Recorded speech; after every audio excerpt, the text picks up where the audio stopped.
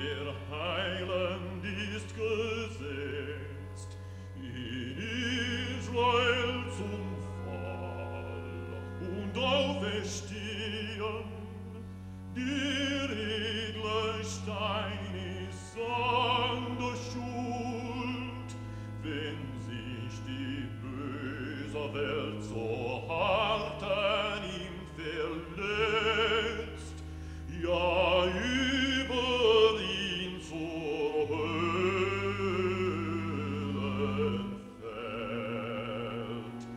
weil sie boshaftig an ihm röhnen.